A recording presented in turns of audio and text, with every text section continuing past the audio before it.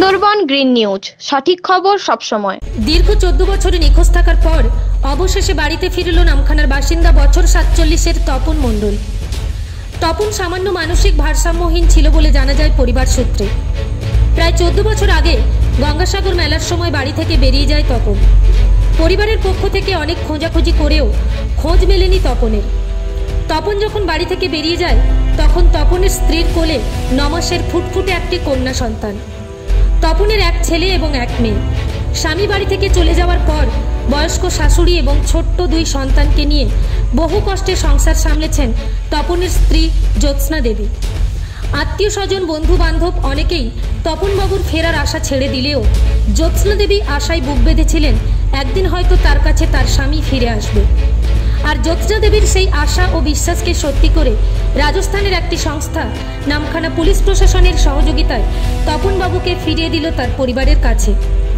চোদ্দ বছর পর তপনবাবু ফিরে আসায় পরিবার, পরিজন, আত্মীয় বন্ধু বান্ধব এবং পাড়া প্রতিবাসী যেমন খুশি হয়েছে, ঠিক তার পাশাপাশি স্বাভাবিকভাবেই জ্যোৎস্না দেবীর অভাব অনটনে ভরা অন্ধকার জীবনে এখন এসে পড়েছে জ্যোৎস্নামাখা আলো। তবে তপনের নমাসের ছোট্ট সেই মেয়েও আজ অনেক বড়। সে বলে আমি বাবাকে কখনো চোখে দেখিনি কোনো ফটোতেও দেখিনি। বাবার আদর কাকে বলে কখনো বুঝিনি। তাই বাবাকে প্রথমবার কাছে পেয়ে আমার খুব ভালো লাগছে। তবে মেয়ে হিসেবে বাবাকে আগামী দিনে সম্পূর্ণ। সুস্থ দেখতে চাই। দেখেছ যেটা পরিবারের কাছ থেকে শুনলাম?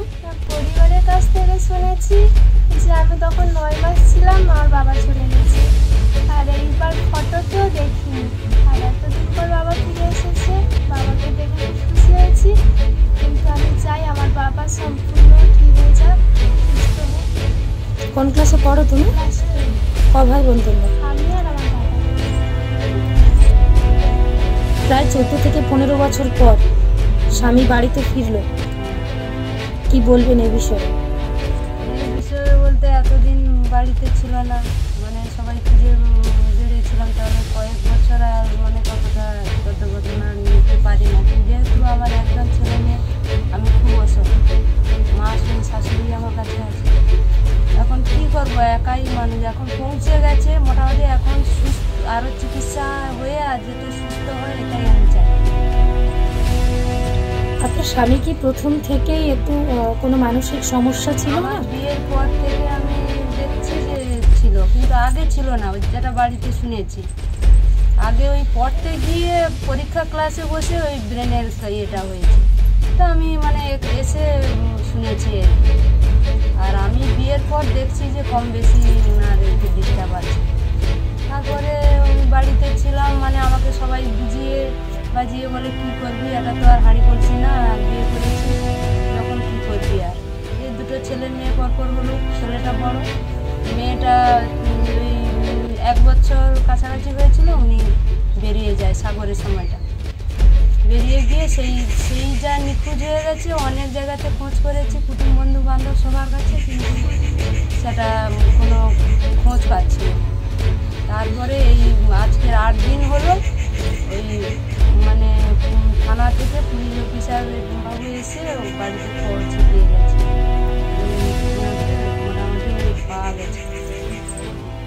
মোটামুটি ঠিকানা দিয়েছে। ও বাড়ি কোথায় ছিলেন এতদিন? কিছু জানতে পেরেছেন? মানে বলছিল যে মুম্বাই মানে যেখানে সেখানে বলছে। ও এখনও সঠিক বলছে না। তারপরে ওনারা যে নিয়ে এসেছিল দুজন একজন মহিলা আর একজন মানে পুরুষ ছেলে নিয়ে এসেছিল।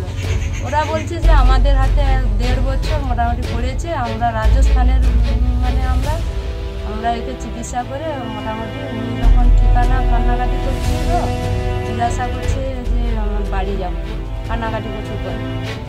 আর আমি বাড়ির ঠিকানা তাহলে বলতে পারবি যে হ্যাঁ বলল। আর এবং ভাইদের, মাদের সবাই আমার নামও বলল। বলতে নেই, ওনারা মোটামুটি খবর দিয়েছে, থানাতে খবর দিয়েছে যে সঠিক কিনা তাহলে সঠিক বলল, বলতে ওনারাও আবার মেল করে পাঠিয়ে দিয়েছে। সরাসরি কালকে দুজন নিয়ে এসে কি নাম আপনার? এতগুলো বছর পর আপনার সন্তান আবার বাড়িতে ফিরে এসেছে। কেমন লাগছে? ভালো লাগছে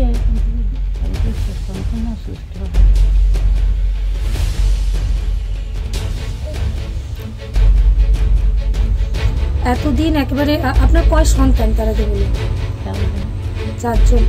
ইনি কি বড়?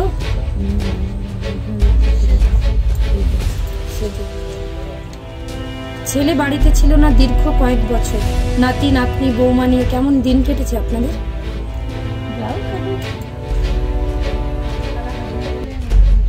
কি নাম আপনার? মন্ডল আপনাদেরই এক প্রতিবেশী তপন মণ্ডল প্রায় চোদ্দ বছর পর বাড়িতে ফিরেছে। ছোট থেকেই কেমন ছিলেন উনি? মানসিক কোনো সমস্যা ছিল? হ্যাঁ আমরা এসে শুনেছি যে একটু সমস্যা ছিল। হ্যাঁ ওই চিন্তা চিন্তা করতে করতে ও তো বেড়ে গেছে বাড়ি থেকে। আমরাও অনেক জায়গায় গেছি এদের সঙ্গে খুঁজতে খুঁজে টুজি পাইনি। আমরাও খুব চিন্তায় আছি যে আসেনি। আমরা যেখানে যাই দেখি পাগলকে দেখতে পেলে আমরা ওকে দেখা মানে ওকে চেনার জন্য প্রচুর আগ্রহ করি। হ্যাঁ এবার আসছে এইটা ধন্যবাদ। ভালো যেন হয় সুস্থ যেন হয়। হ্যাঁ এটা সবাই চাইছে। কালকে দিয়ে গেছি। হ্যাঁ। কালকের আমরা জানিনি কালকের ওরা ওই একটার দিকে ওরা নিয়ে এসছে দুজন হ্যাঁ ও সবসময় যখন ভালো ছিল একটু সুস্থ তখন ছিল মানে এমনি মাথা ডিস্টার্ব আছে আমার বাড়িতে সবসময় ছিল আসতো। এইটা আমার বাড়ির সামনে আমার বাড়ি। আমার নাম কোহিনুর বিবি কি নাম আপনার? কতদিন পর বাড়িতে আসলেন?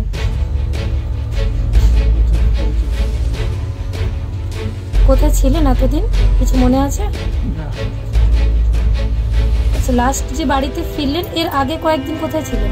কারা নিয়ে আসলো আপনাকে বাড়ি? বাড়ির লোক। কোথায় ছিলেন? জায়গার নাম কিছু মনে আছে?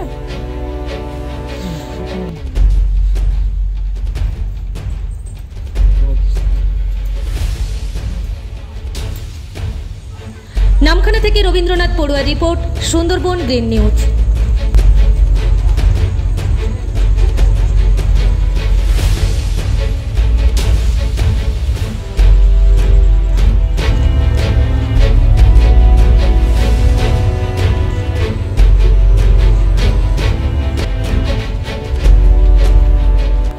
Sundarban green নিউজের সমস্ত খবর সবার আগে পেতে আমাদের চ্যানেলটিকে সাবস্ক্রাইব করুন এবং পাশে থাকা নোটিফিকেশনের বেল আইকনটি বাজিয়ে দিন। Icon health centre Namkhana Narayanpur Shri Durga ideal অ্যাসোসিয়েশনের বিপরীতে। এখানে সমস্ত রোগের বিশেষজ্ঞ ডাক্তারবাবুগণ চেম্বার করছেন।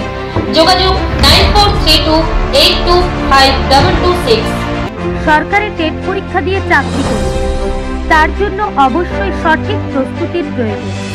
আর সেই সঠিক প্রস্তুতির একমাত্র বিশ্বস্ত প্রতিষ্ঠান হল you can win class class note shortcut trick class test mock test O online টেস্টের মাধ্যমে প্রত্যেক ছাত্রছাত্রীকে উপযুক্ত প্রশিক্ষণ দিয়ে চাকরি পাওয়ার উপযুক্ত করে তোলা হয়।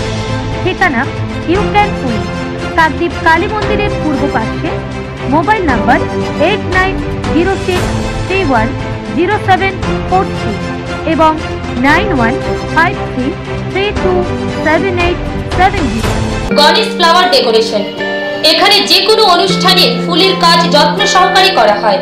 বিশদে জানতে আজই কল করুন mobile number eight nine four two zero six five nine five six এবং six two nine one five double six five seven two Bhandari marble ও স্যানিটারি মেগা শোরুম আপনার স্বপ্নের বাড়ি সাজিয়ে তুলতে আজই আসুন। কাকদ্বীপ বাজারে এই প্রথম সেরা জনসন এশিয়ান পেন্ট বার্ট সেন্স বাথরুম ফিটিংস এর বিপুল সম্ভার। এছাড়া কাজরিয়া লেভিস, হোম, টেকন কোম্পানির নানান ধরনের টাইলস কাকদ্বীপ পোস্ট অফিসের কাছে আজই যোগাযোগ করুন। চিকন মিউজিক অ্যান্ড ইলেকট্রিক, এখানে যে কোনো অনুষ্ঠানে মাইক ও জেনারেটর ভাড়ায় পাওয়া যায়। নামখানা নারায়ণপুর। যোগাযোগ nine six seven nine seven nine triple two eight এবং double nine three two five two three zero eight one